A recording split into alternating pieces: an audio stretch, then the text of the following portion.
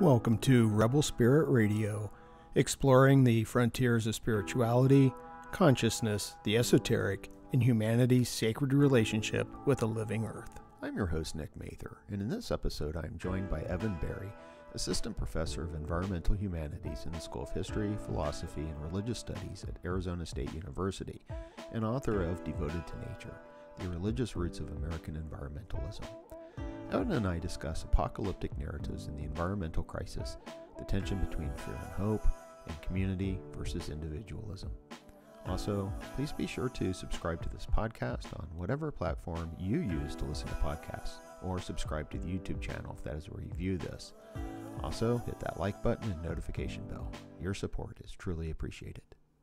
Evan Berry is an assistant professor of environmental humanities in the School of History, Philosophy, and Religious Studies at Arizona State University.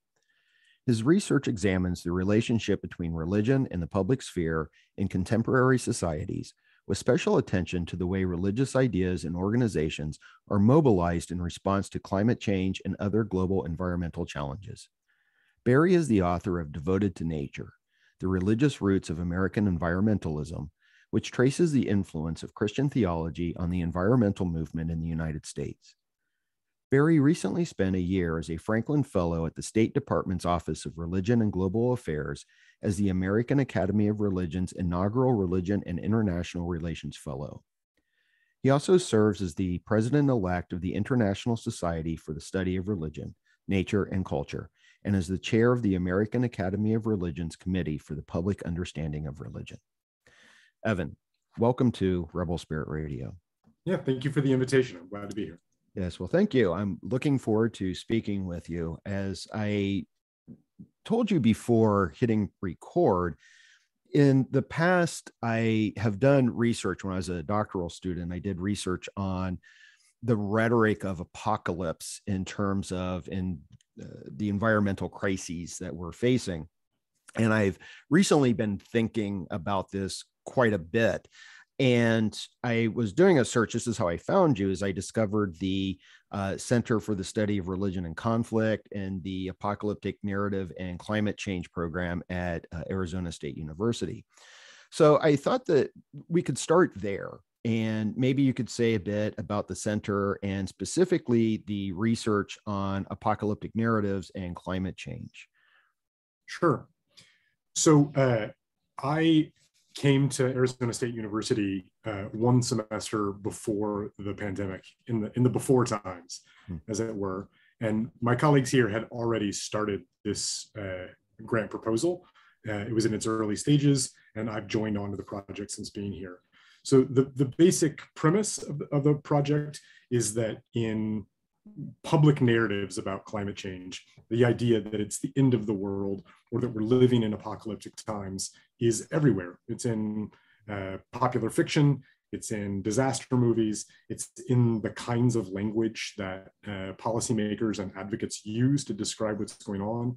And so the grant project just wanted to try to make some sense of that by uh, putting it in a conversation with scholarship and religious studies. So I think a few key questions uh, were the ones that we've been trying to focus on.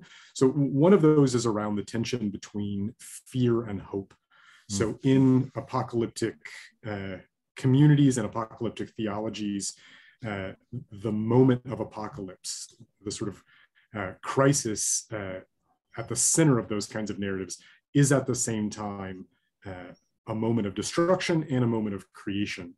So we were thinking, uh, and we've been trying to think about whether or not speaking about climate change as the end of the world uh, demobilizes people, whether it's something that uh, makes people feel despair and hopelessness about uh, extinction, about uh, the futures uh, for human civilization, for, for our children, uh, or whether those kinds of ideas that this world is coming to an end and that something is promised beyond it, some new new beginning uh, for uh, social organization is possible, uh, was a kind of hopefulness embedded in that language.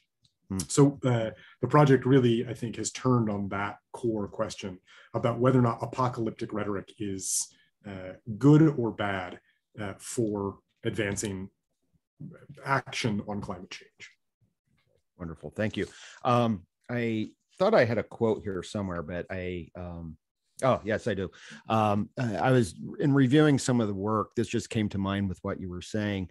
Um, uh, I had read a book a long time ago, uh, just called Apocalypses, and by uh, Eugen Weber, and he was looking at the book of Revelation, and he said, you know, over 400 verses in the Apocalypse of John, only 98 of them speak of calamity. Whereas something like 150 refer to joy and hope and brightness. Um, so it seems to me that uh, this tension between hope and fear is right on target in terms of apocalyptic thinking. And uh, one of the questions I wanted to ask of you was how you're understanding apocalypse. And you've already mentioned this a little bit, but I would like to invite you to go a little bit deeper because I think that most people, when they hear the word apocalypse, they think of it in terms of the end of the world but I think that it's a little bit more nuanced than that. And I think that there are many meanings to apocalypse. So I was wondering if you could speak to that a little bit. You know, how are you understanding apocalypse or the different ways uh, that you see it manifest in these conversations? Yeah, that's great. So uh, the word apocalypse comes from the Greek apocalypsis, uh, which more literally could be translated to revealing or revelation. Uh, so it's a it's a it's a historical moment at which some underlying fundamental truth about uh, reality is uh, revealed to people, and so you can see clearly how something like the book uh, of Revelations at the end of the the New Testament is a story about how a final revelation of God's word is revealed to the community of believers. Uh, and essentially, uh, the promises of the biblical arc as a whole are fulfilled with sort of no ambiguities or doubters or uh, sort of all the all of the narratives embedded in the bible come to a final and permanent close so it does have that sort of um, moment of finality and ending of the world. But really, I think the term apocalypse should be understood in terms of how uh, the believers, the people who uh, are orienting themselves to that moment of revelation, uh, the kinds of work that, the, that that orientation does on forming social communities, on thinking about what is revealed, about what is destroyed and stripped away, right? So one of the, the um, if you imagine in your head what a revealing is, it is not just a showing of what's behind or underneath, but also a removing of that which obscures or um, makes it unclear to people what's going on. So, in some sense, uh, that language can be really helpful for talking about the climate crisis, that there is something going on where uh, the structures and processes and language that we have that obscures the deep crisis that that uh, certain powerful humans in uh, relatively recent history have created for all life on Earth. Uh, those groups are hidden. It's not obvious to everybody exactly who's responsible and exactly the extent of that crisis. And so bringing to light those truths also involves a stripping away of uh, veils of ignorance. And so that sort of coming into knowledge uh, uh, transition, uh, I think that's one of the, the powerful aspects of apocalyptic rhetoric in climate discourse that helps get at that that feature of what's going on. I, I recently, there, there, were some events recently, I, I, can say more about them here on campus related to this grant project. And a number of the participants uh, used this language of um, when they woke up, right? This, um, in our conversation earlier, you were talking about the language of enlightenment. Many people sort of point to a particular moment at which um, the magnitude and uh, force of the climate crisis uh, became evident to them, and they, they locate that as a particular moment of revealing, right? Mm-hmm. So this this language, I think, um, stays with us at the, at the individual level in particular. But I don't think it's without problems. Right. And what might some of those problems be? Uh, so, uh, in many of the apocalyptic communities that you see in the early centuries of the Common Era, like those that would have grown up around uh, the teachings of John or uh, the, the communities at Qumran, where the Dead Sea Scrolls are, uh, those communities saw the world as fundamentally corrupt and retreated from it in um, to isolate themselves so that they could remain pure in their truth for the, the coming of whatever uh, apocalyptic moment was near on the horizon. And so there's a, a, a tendency, I think, in apocalyptic language to push people into isolation and um, sort of uh, creating cells to wait out and survive the apocalypse. So there's kind of a survivalist bent there that I think is worrisome because that's not how we're going to confront the climate crisis. We need coordinated global interaction. We need broad uh, public commitments to justice. Uh, we need technology and innovation. We need uh, good governance there's a lot of things we need and running away and hiding in a cave is probably not a good solution. Right. Yeah and um, i want to come back to something you just said but first a what immediately came to mind is um, also this idea of not just secluding oneself uh, but the inaction from some people. I was thinking specifically of uh, Reagan's uh, Secretary of the Interior, uh, James Watts. And uh, he famously said when he was being interviewed by uh, Congress, I think, uh, in 1981, something like, I don't know how many future generations we can count on until the Lord returns. And that seemed to be an excuse for inaction. Yeah.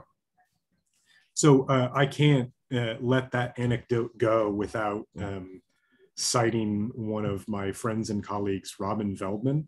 Uh, her book, uh, The Gospel of Climate Skepticism, is a really great book about uh, sort of uh, uh, the religious right and conservative Christians in the United States and uh, sort of an ethnographic engagement with their thinking on climate change and environmental politics.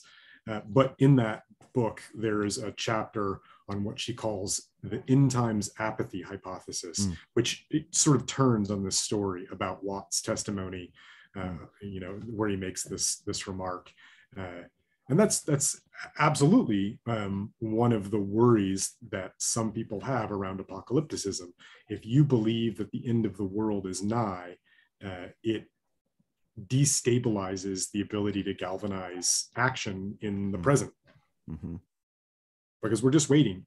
And that the often the forces that bring about um, the apocalypse are beyond human control which hmm. is distinct from the climate crisis because it's very much uh, caused by particular humans and particular kinds of human activity. And so we can do something about it. It's not uh, merely in god's hands as it were. Right right. And wouldn't another issue this is just something that comes to mind is when this apocalyptic rhetoric is used and i think it is appropriate because we are facing something that's so extreme um, but it is often used to disregard it in the sense of it's just being referred to as alarmist. Yeah. So Michael Barkun has written about this issue of, of when prophecy fails. Mm. Uh, there are many examples of apocalyptic religious communities uh, who stood waiting at the altar of the end of the world, uh, only to find themselves jilted by uh, a, a, partner that never arrived. This is actually a concern of mine about climate change that the narrative structure of apocalypse really rests on the idea that there will be a moment uh, mm. of revelation that the, a, a, world will end uh, and that's not how ecology works i mean there are tipping points but tipping points are usually things that are understood retroactively. Uh, I think you know those of us who follow climate issues closely are all familiar with the, the boiled frog analogy. This idea that we're uh, being sort of slowly submerged uh, in a worsening situation. Um, that that rings true to me in terms of how we experience the climate crisis.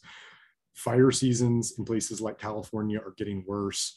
Drought seasons in the, the desert Southwest are getting worse. Uh, flood and, co- and storms are getting worse. But those are all things that existed before climate change was a, a problem and will exist um, many thousands of years from now when climate change is no longer a problem.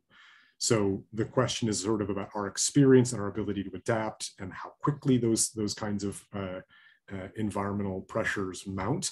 But I doubt that it'll be all at once, which is uh, uh one of the reasons why I think apocalypticism is part of a sort of narrative strategy around climate change, but it's not necessarily something we want to put all our, our eggs in that one basket because, uh, yeah, this is going to be with us for a long time and it will continue to heighten until we finally do something about it. And we won't know when that finally decide to do something is about it until uh, years later. I don't think there's any one moment in which mm. global policy will be finally and permanently resolved. Right. Yeah. And you hear, I hear people a lot speaking along those lines as if there's going to be a massive hurricane and then finally people are going to wake up to the reality of climate change uh, but we've seen so many climate disasters along the way and that has yet to happen so uh, yeah yeah that's yet to happen in the united states I would say that many other former British colonies, right, countries that are part of the industrialized uh, world, uh, wealthy nations, nations with, uh, you know, right left dichotomies that look like uh, they were learned from the British model. So I'm thinking here of Australia and Canada and New Zealand. Many of those countries 15 or 20 years ago had debates around climate change that looked a lot like the United States. Mm-hmm. Uh, but what's happened in Australia over the last 10 or 15 years, especially the wildfires from a few years ago, I think really shifted the needle on public hmm. opinion in Australia, where there are still uh, uh, pro coal, pro fossil fuel forces on the right, but outright denial is no longer a mainstream political viability. Mm. Uh, it is still here in the United States. One can still yeah. pretend as if it is quote unquote a Chinese hoax and be elected right. to the highest office. Yeah, yeah, which is unfortunate. And uh, I have concerns for the future elections as well, along those same lines. Um, there seems to be, if I understand correctly, within apocalyptic thinking, there is always a sort of moral aspect to it, isn't there? Um, where there's um, not just basic morality, but issues of social justice. And it seems to me that this is one of the ways, you know, we've been talking about some of the ways that this rhetoric is negative, but this seems a way that it can be very affirming. Yeah. Uh, I think that's a really interesting question. I think it kind of cuts to some of the complexities around apocalyptic thinking. So typically apocalyptic communities have been politically marginalized groups who see themselves as the keepers of moral truth in a world that's gone astray and that preserving that truth uh, is an important part of how to maintain fidelity uh, to the divine order and that that will eventually be rewarded right that the apocalypse is a revealing but essentially what it is is it's a redistribution of justice it's an attempt to correct some wrongs that are in that exist in the material world uh, that's all well and good and i don't think that always necessarily means social justice right you could have apocalyptic communities who believe that they are the keepers of truth and that the mm. truth is some sort of rigid hierarchy around sexuality or gender and that right. You know at the revealing at the at the divine at the moment of divine revealing um, those sort of rigid hierarchies will be restored to the rightful place. So the kinds of justice imagined in apocalypticism aren't always in line uh, with how we might want progressive social justice values to be uh, articulated. I also think another complexity that arises when you think about justice um, is around whose world is threatened and who those groups are. So, one way to talk about the climate apocalypse is to think about the world as a whole as ending, mm-hmm. that there is a planet and that that planet is somehow uniquely at a precarious moment because of anthropogenic carbon emissions and other greenhouse gases. Uh, and that's true. The planet is a single uh, biogeophysical system, and that system is imperiled in ways now that it never has been uh, in all of human history, and it's imperiled for reasons having to do with human activity. One of the another way to look at it is that there isn't in fact just one world there's many worlds that worlds and planets are different things that people live in worlds and that the particular world that is coming to the to an end isn't the planet it's sort of the, the modern era, right? The, the era of ascendant fossil fuel, of uh, Euro American dominance over the entire planet that began with colonialism, that was you know aided and abetted by uh, the free and cheap energy we get from fossil fuels that that moment in history is what's ending and that that is one of the reasons why so many forces in sort of the western media imagine this as the end of the world. But other worlds have already ended right? So there are a number of indigenous scholars uh, and, and writers. I'm thinking of people like Kyle Powys Whyte and uh, Julian Brave NoiseCat and Tara Houska and others who've written about sort of whose world it is that's ending. And this is just like the settlers figuring out what we've been saying for, and I, I don't mean we, I mean, this is uh, native uh, writers expressing um, frustration that settler communities are only now seeing the ends of worlds when that's something that those communities have been grappling with and living through for centuries. So I think another, this is another place where apocalyptic thinking can be really valuable if you open it up to not talk about the singular end of the world, but a kind of um, narrative structure that helps communities live in relationship uh, to ecological systems. So when those worlds end, those communities have to find ways to live through and beyond the apocalypse. And I think a lot can be gleaned from that because we're all on the precipice of living through the end of this world. Right. Yeah. And I appreciate that quite a bit. Uh, whenever I teach, um, I regularly teach a Near Eastern religion class. So we always cover the book of Apocalypse. And I always explain it as, you know, it's not the end of the world, but it's the end of a world. And my understanding is that it was the end of this, it was this antidote to Rome's brutality and the system of oppression, right? And that's why Jesus was always referring to the kingdom of heaven um, that it was a more moral alternative to this system of oppression that they experienced. So I, I definitely appreciate uh, that insight quite a bit.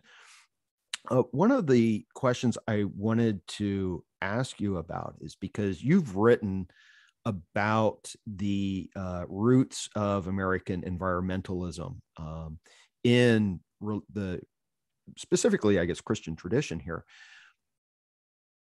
In what ways do you think that apocalyptic thought may have informed that as well? Yeah. So uh, i'll say a little something about how to make the connection between yes please. Theology because, and environmental discourse. Yeah. so w- one way to, to describe that would be that there are certain things that happen in popular culture in environmentalism in movie narratives and superhero films that uh, rhyme with religious tradition, that we can see archetypes or borrowed images being recirculated, and that that borrowing happens through the production of culture.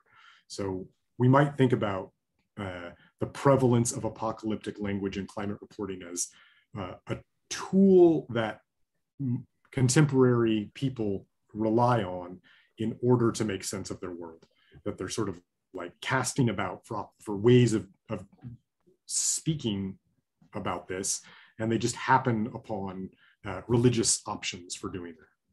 Another way to talk about it, and this is uh, more my view and sort of what my my first uh, book, which is actually sitting on the shelf behind you for, yes, for readers and listeners, uh, the is to suggest that those connections have always been there.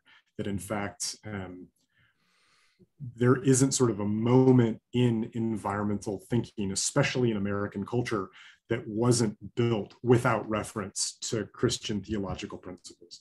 So the idea that human beings and uh, the natural order, uh, which is framed largely as creation, are uh, fundamentally separate, that human beings uh, exist on but are not of nature, is kind of often implicit in the ways that we in the United States talk about ecology um, right? Our decision making exists sort of out of outside of uh, ecology, uh, and that the uh, the particular character of American environmental history that this was a uh, pristine and beautiful continent prior to the arrival of European peoples, that it was a veritable Garden of Eden, uh, and that uh, over time uh, humans have strayed from uh, appropriate moral behaviors and have fouled that garden and that we need to somehow uh, embrace principles that will allow us to restore that. So the, the, the core theology of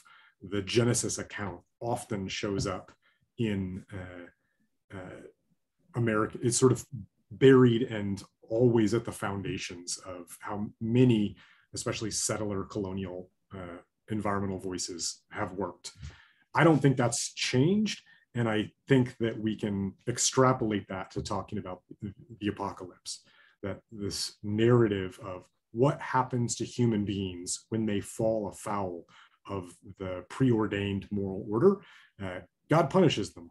So, a sort of covenantal language around climate change that this is our natural comeuppance for uh, sin, pridefulness, hubris. Um, and I actually don't think that's a, a problematic framing but I think that um, being honest about how that vocabulary uh, has become and remain so powerful in American environmental discourse lets us be a little bit more truthful with uh, about our about how those conversations in the United States are structured and about what we can do with them, right? So I think our conversation here today uh, and like much of many of the conversations I have in this space, are about what does it mean to explicitly talk about the religious quality of ecological conversations so that we can have them in a more sophisticated, more blatantly theological way. Right. Yeah. And I, I, think that's really important. And I'm glad that you provided all of that uh, insight and detail because I know that I always try to bring it up in class, and students often, I don't know about your students, but students often initially don't see the connection. Um, but, uh, you know, I always attempt to demonstrate how it's there, like you said, from the very beginning. And there are these attitudes. Um, and just like with Apocalypse, I can see the attitudes of things. You talked about the Eden narrative. You know, there's this idea that we are, and I think this comes from Carolyn Merchant, um, that, you know, we're always trying to recreate Eden. But then there was also these ideas of wilderness as being a place of moral confusion, you know, and something that has to be sort of conquered. But I think that also fits into this idea of recreating Eden uh, in some ways. Yeah. Uh, I don't want to go too far afield from right. our conversation about right, apocalypse, right, but I think this is relevant. Uh, so much of the conversation in the early generations of American environmentalism was focused on individuals preserving landscapes so that uh, people could go out and appreciate the beauty of creation. Mm-hmm. And this language of wilderness, which shows up time and again in both the Old and New Testaments, is about a, a space where um, spiritually significant figures are tested. So, mm-hmm. this idea of thinking of the landscape, thinking of the American West in particular as a place where people are morally tested, and that if they endure um, their their spiritual rigor and vitality is is is uh, proved. That emphasis on sort of forging individual character uh, isn't the direction we need to be going if we're thinking about how to confront the climate crisis. This is one of the places where making the connection between uh, theology and environmentalism, uh, I, I have real worries about what it means to focus on individuals because the only way we're going to persevere and create a sustainable future is by forming robust communities with solidarity both among humans and also between humans and our other than human kin. That's the only way we're going to persevere. So, this language of moral individualism that's so central in the Christian theological drama uh, isn't maybe the most helpful right. view here. Maybe right. uh, a Jewish perspective on sort of a covenant between a people uh, and a land is right. more appropriate. Yeah, yeah, and yeah, that's that's one of my major critiques of contemporary some forms of contemporary christianity is that there seems to be this sort of embedded narcissism to it um, that it's the individual and their relationship to god. And you know i always in the class i always give an example of a friend of mine who uh, I don't know well, but uh, at one time was posting on social media how her car didn't start after work, and um, she was praying to God to get a ride home. And then she posts, you know, and I got the ride home. God loves me and everything. I'm like, there's Holocaust levels of genocide happening in Africa. People are starving to death, uh, but God can make sure you get a ride home. Um, and I think that's a deep problem uh, that needs to be overcome. Uh, but I also wanted to ask about, and maybe I don't know if this is problematic in terms of the individual, but I also see the apocalyptic language, as you mentioned, you know, a good translation is a kind of revealing. And it seems like that is also something that is at the heart of the environmental movement. I'm thinking in particular of some of the nature writings, and especially, you know, like John Muir. And, you know, if you read Muir it is this constant revelation. And I think one of the words that is most common uh, is glory. You know, he's always, you know, glory, glory, glory. Um, it, and it seems to me that that kind of revelation is important to get people to care about environmental concerns, isn't it? Yeah. I have my own feelings about Muir. Uh, yeah. I love the same places that he loves. Uh, you know, the Sierras are beautiful places. Uh, the redwood forests of the California coast are special to me. I know many of us who would describe ourselves as environmentalists have had those experiences of um, mm.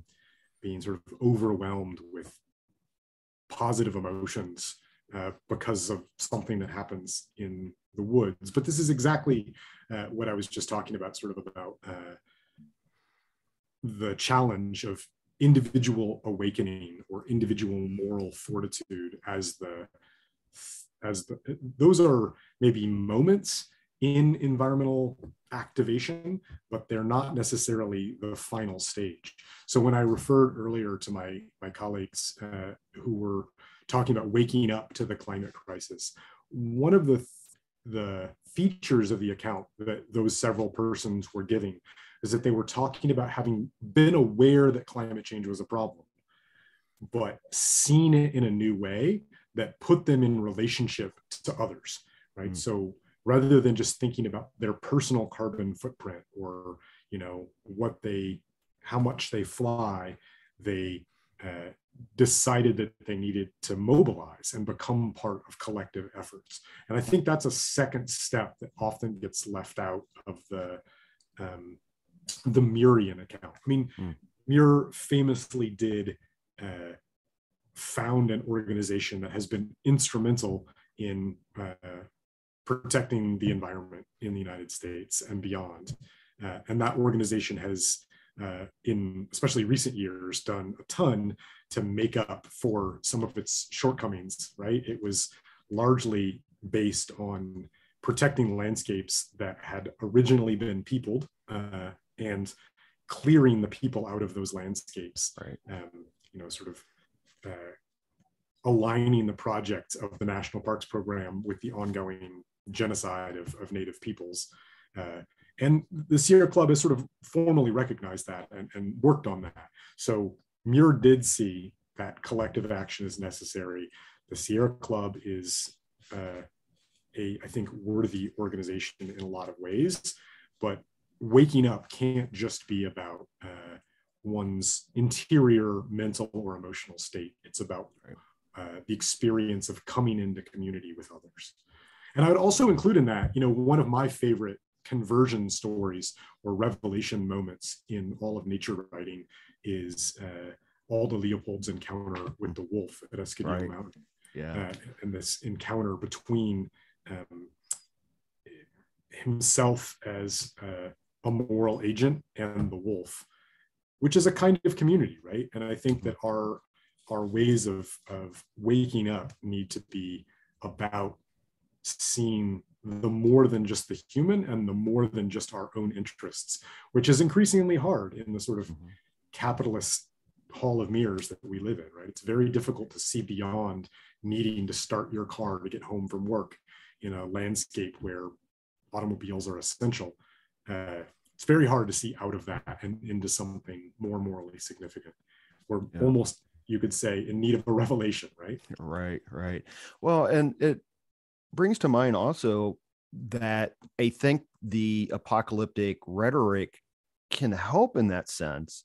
I'm thinking specifically like uh, Rachel Carson and the publication of Silent Spring, which I think really made people aware of some of the negative aspects of you know the petrochemicals uh, and uh, not just on human health but the health of ecosystems and um, uh, i'm also thinking in terms of groups like uh, earth first that seem to be operating under or in acting out of a um, apocalyptic concerns um, is would you say that that is because i guess i'm kind of um, I know I'm stumbling here a little bit. I'm trying to formulate this good question.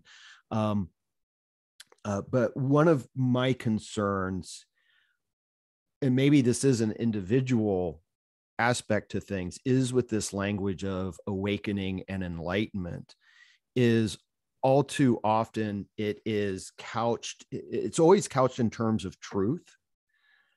But while we have people who can have this experience, or this greater awareness of environmental tragedy unfolding, you also have people who will say, well, you need to wake up that the United Nations is lying to us and Agenda 21, blah, blah, blah, blah, blah. And that's my great concern is, and why I'm always suspicious of this language of awakening. Um, how do we reconcile these truths? Yeah. Uh, I think that that is such a huge question, and Yeah. I don't feel like I've got a great answer for Right. it because I think it's one of, uh, I mean, I, I take that to be sort of the challenge. Hmm.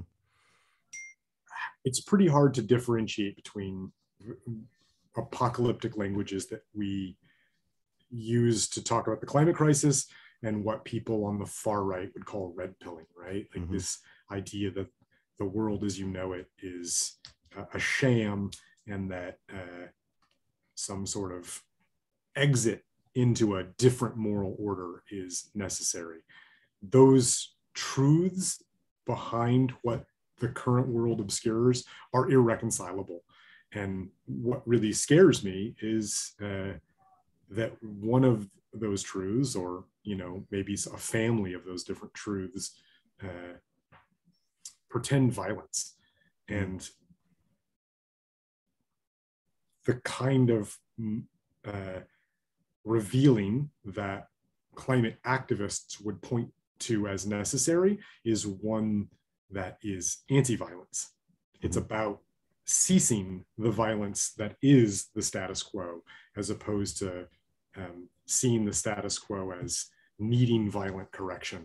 It, it's a we live in scary times to be sure.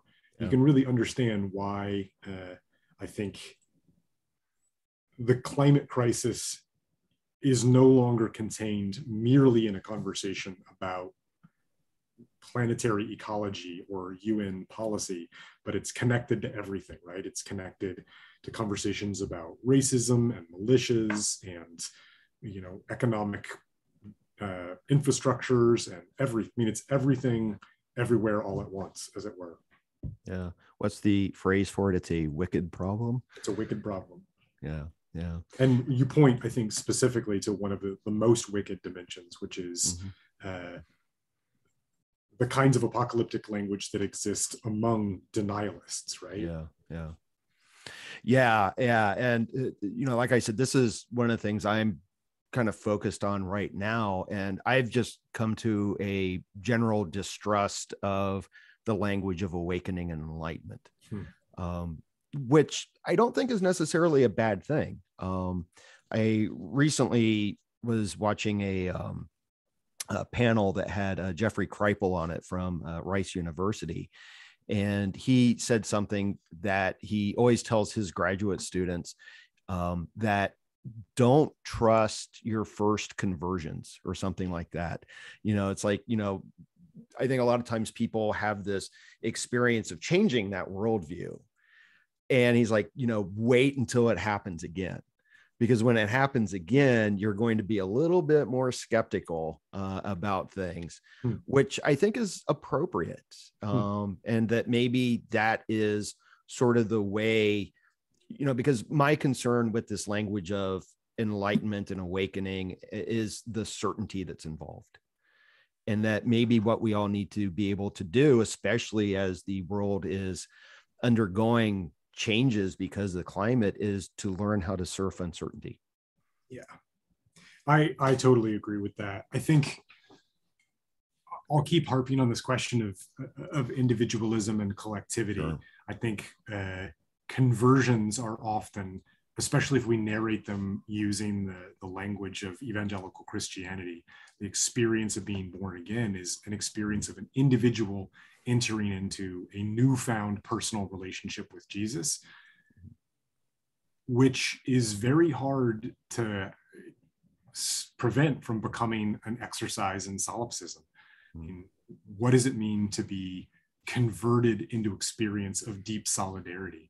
What does it mean to live in communities where uh, the wisdom of multiple generations stays with a group of people and that sort of uh, supersedes any one person's uh, emotional whims based on an experience they had, right? Like, I don't know. I think one of the, the kinds of things we need to do around climate change is really decenter ourselves as as individuals who can do something about it. I think it's really bad for us uh, psychologically to imagine that somehow our actions can be the difference because we're never going to solve this. Any one of us it will never be able to do have any meaningful impact by our by ourselves. Mm-hmm. so all meaningful impact we can have is through work we do together. And so finding ways to bring people into that experience of wanting to action that seems to me like a second order conversion like you're saying. Yeah. people can wake be awake to the problem um, but you need to be awake to the fact that it's not just about you. And that's right. here, I think I'm speaking largely to American audiences. I think yeah. uh, folks who are working on the climate crisis uh, in other cultural contexts probably see this differently. Hmm. Yeah, well, and that's a good point. It makes me think that uh, often the solutions that we're given are focused on the individual you know, drive less, take shorter showers, eat less meat. And all those are important. But like you said, none of them are going to solve the crisis. Right. You know, until we work together. So, um, so march at the, march on the Supreme Court until they overturn yeah. Citizens United and get yeah. fossil fuel money out of politics. I mean, that's yeah. that's not something you can do. Uh, it's not five easy hacks to like you know mm-hmm. make your diet greener. It's right it's kind of revolution or bust at this point. Yeah, yeah, and I hope to see groups and activities like Extinction Rebellion kind of taking on more fire here in the United States uh, because it's absolutely necessary. And to that end, I, I'm curious, since you're a educator, how do you see your students now? Um, what are what do you find their thoughts, their reactions to all of this is. Yeah. I'm an educator and I'm an educator at a public university in Arizona. Uh, always in my classes, I have students uh, who are from abroad. Always in my classes, I have students who are not from Arizona. And so it's really interesting to sort of hear where how students arrive to conversations about climate change and the environment many of my students from Arizona uh, are frustrated that they didn't get more. Mm. They know because they're literate people and, and savvy users of social media that the climate crisis is an issue that will be with them for a long time, that will shape their adult lives.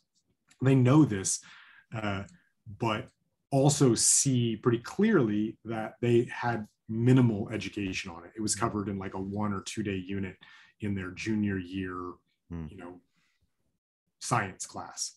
Uh, it's not something that really comes up that much in humanities classes. So they haven't really had opportunities to think about um, how different communities experience climate change. They haven't really had an opportunity to think about um, whether trees have moral standing, the kinds of questions that our young people need to be mm-hmm. having opportunities to grapple with. Uh, m- many of the students, uh, both those from abroad, many of the students who are working on sustainability have um, deeply informed views about the kinds of technologies and policies that are going to be necessary to help tackle this issue and, and make, you know, make this crisis less bad but they also it's many of those students experience this as the first time they've had an opportunity to talk about climate change and their feelings or climate change as something that isn't just uh, a technology problem. I mean if you're training to work in the solar energy field then you're developing a, correct, a professional career trajectory but solar engineers aren't really stopping to talk about uh, apocalypticism. They're right, not right. really spending a lot of time like geeking out on like the meaning of disaster movies. So I think I think young people are hungry for those kinds of conversations. I think those are really important to make sure that anybody who's pursuing an education uh, in any field, especially folks who want to go into sort of sustainability related careers or want to do that work as something that's important to them, should have opportunities to sort of explore the moral and spiritual dimensions of the crisis. Yeah, yeah, yeah. I agree. The one of my inspirations, I think, is a, and you're probably familiar with it. It's a essay by David Orr on what is education for, and in that he specifically says all education should be environmental education. And I always kind of shift the language a little bit and say I think it ought to be ecological education um, and I don't think he would disagree with that. No, probably um, not. Um, but one of my concerns and interests, and you know, this is probably a more personal question as an educator as well, because I have the same experience that often my students have a vague awareness, but they don't really understand the gravity of the situation often. Um, but I struggle at institutions like, you know, I teach at what is considered one of the best community colleges in the nation, and they don't even offer environmental ethics. Hmm. And I was at a um, uh, on Earth Day Friday, uh, there was at a different district a seminar on sustainability, and this was also for a you know one of the largest community college districts in the nation. And there was a lot of talk about sustainability, but there was nothing in terms of how to incorporate it into the classroom. You know, so it seems to me that you know, and I imagine that there are some groups you know maybe through you know like committees on the american academy of religion and whatnot that helps people but it seems like educators that we also need to organize in order to start getting this implemented um, into the curriculums in into the classrooms yeah well so you know i have my uh, own concerns about what it means to be an educator in uh, a conservative state where these kinds of questions can be pretty hot button. Uh, but Arizona State is in the process of redesigning its gen ed curriculum, mm-hmm. and it will include a sustainability element as one of the core principles. And exactly what that looks like and, and what the shape is, is yet to be determined. But I think it's going to have something around uh, culture and ethics and uh, moral and uh, reasoning, right? We don't exactly know what it'll look like, but those those are critical factors that universities should be onboarding in terms of how they think about what it means to form citizens, to help young people develop the skills and uh, critical thinking skills that they need to navigate the decades ahead. There's just no way we're going to engineer ourselves out of this if we don't know what the problem is that we're solving, right? It's not, yeah. I mean, to me, this is, I, I, we could call it the lithium problem, right? Yeah. Like yeah. we can solve the fossil fuel problem by uh, converting all of our energy sources to rare earth minerals and lithium. But then we've just moved the extractive industries into different countries and we have the same kinds of radical economic uh, just injustice that we have the yeah. same kinds of localized uh, pollution uh, and uh, kinds of toxicity that we don't even understand, right? So we can like move on from the climate crisis into some other crisis. But if we're not thinking about what the roots of the problem are, uh, then we come up with piecemeal solutions. Right. So students need to be able to have the question, the conversation at that level, which means that educators, I think you're absolutely right, need to be fighting for the opportunities to have to, to let young people have those conversations young people are ready to have those conversations yeah they just yeah. need the time and space away from their parents to have them mm-hmm. yeah yeah yeah i always want to say that if we're if the focus is on student success we cannot have student success if we ignore this problem. You know we need to help students have the tools to maneuver through a radically changing world you know? Um, so i know we got a little bit off the topic here of the apocalypse but as an educator i'm always uh, interested in these ideas um, i know that we're running out of time uh, i have just a couple of final questions for you Great. Uh, one to get back to this idea of apocalypse and these this uh, tension between fear and hope one of the questions I like to ask some of my guests is Are you hopeful? No. No. Uh, I maybe I say that too too flatly. There's a little bit of maybe that's a little bit psychotic. I don't know. I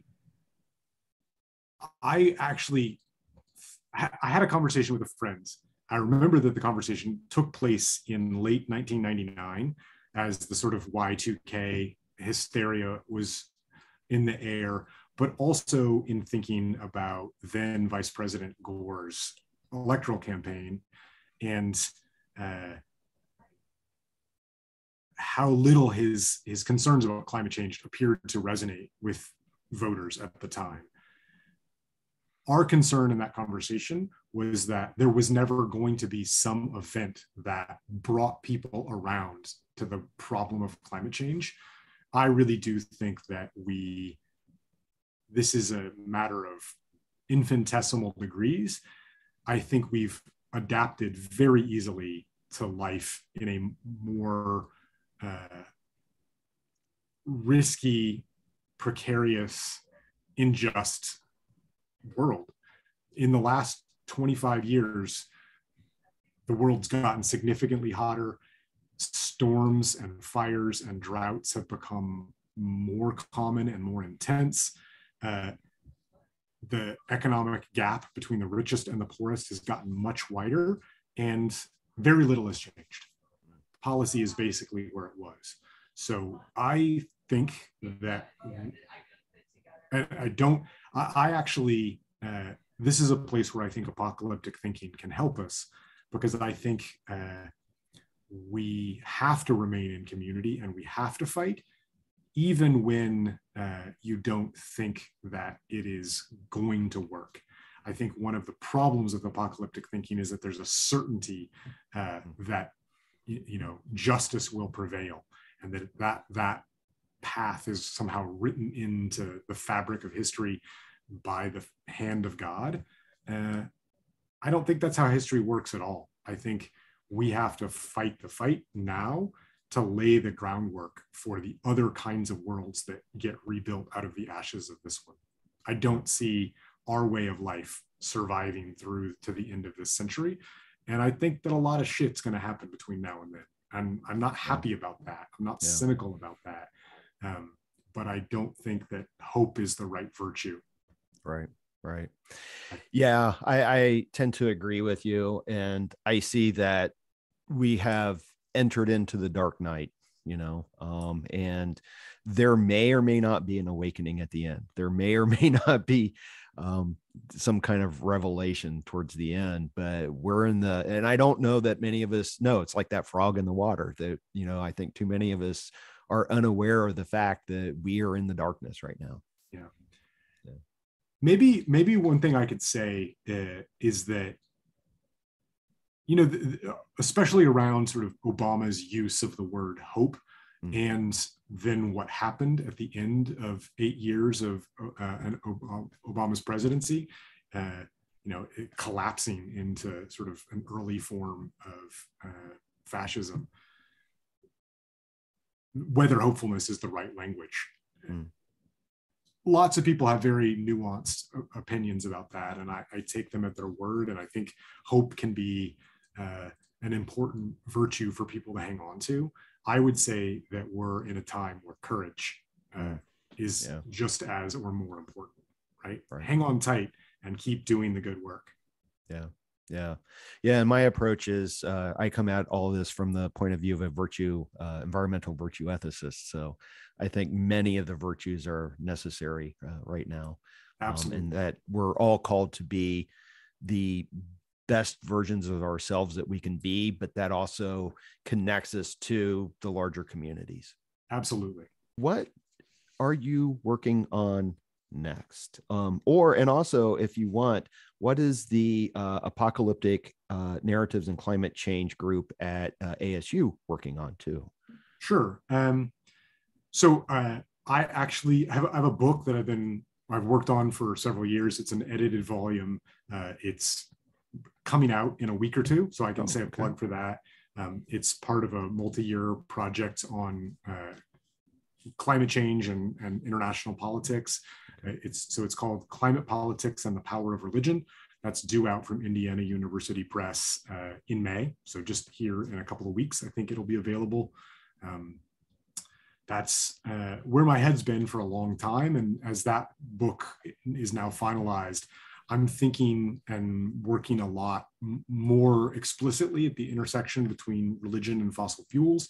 I'm thinking about the role of fossil fuel corporations in shaping uh, contemporary religious life, uh, the intersections of denial and religion, belief in climate change, those kinds of questions, ways of sort of better characterizing how uh, the cultures of climate crisis can be understood through the lens of religious studies. So that's sort of generally where I am, and it's why I can I remain excited about working with my colleagues uh, at the Center for the Study of Religion and Conflict uh, on the religion uh, on the Climate Narratives project.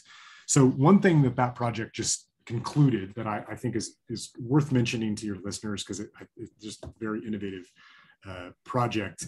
Um, the grant sponsored uh, a prize And the jury for that prize was a seminar with both undergraduate and graduate students. So they read a series of um, nominated uh, high profile works of nonfiction uh, from journalism and mass media on climate change and awarded one uh, a, a, climate narratives prize really based around its ability to navigate these questions of, of hope and fear.